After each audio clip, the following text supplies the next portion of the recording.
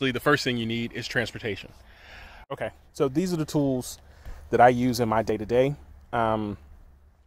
I'll explain them real quick and then um, we'll swap the view so I can explain them in detail. So, this, of course, is a gimbal. That is a GoPro.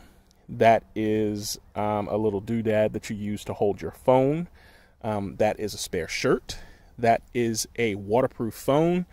That is DJI, um, excuse me, DJI um, Mini. Absolutely love that thing. And that is a very sturdy tripod.